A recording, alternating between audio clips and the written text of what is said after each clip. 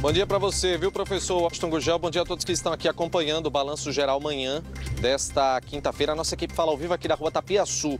Nós estamos no bairro do Cordeiro, na zona oeste do Recife. Foi exatamente nessa rua que esse fato aconteceu e tudo foi registrado por câmeras de segurança.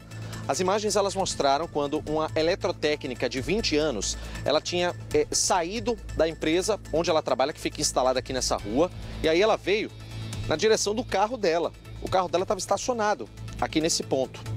A partir do momento que ela chegou aqui, ela observou que dois homens, dois meliantes, dois criminosos, eles estavam em duas bicicletas, andando aqui nessa rua, na rua São Cristóvão, que fica bem aqui ao lado.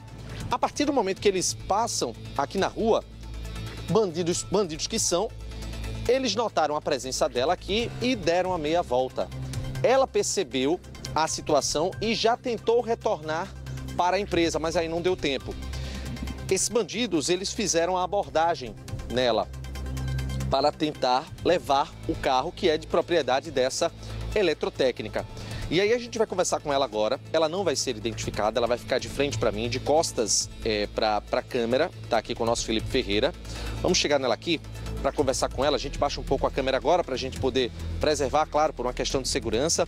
Queria que você explicasse para a gente, é, naquele momento que você tinha chegado no carro para guardar um objeto, você percebeu a chegada desses dois bandidos, que eles estavam ali numa situação estranha? Seria isso? Conta para a gente. Bom dia eu observei que eles estavam passando, mas normalmente é uma situação comum ver pessoas passando por essa avenida, sendo que as mesmas pessoas que passaram estavam retornando. Então, isso eu estranhei. Então, eu tentei retornar o máximo mais rápido que eu consegui, mas infelizmente não foi rápido o suficiente. E aí eles te alcançaram e te abordaram? O que é que eles falaram? Eles não falaram nada. E eu já tentei praticamente entendido que era um assalto, mas inicialmente eu achei que eles queriam meu celular.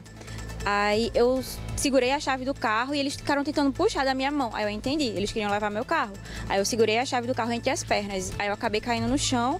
Aí eles conseguiram quebrar o chaveiro, pegar a chave. Eu sub... Pode falar. E aí, a reação dela foi uma reação que muita gente pode falar, né? A gente recomenda, inclusive, não, não se pode reagir a assalto, não se pode, tudo, mas é, o instinto do ser humano, na hora que isso acontece, ninguém sabe o que é que pode é, é sair nessa situação.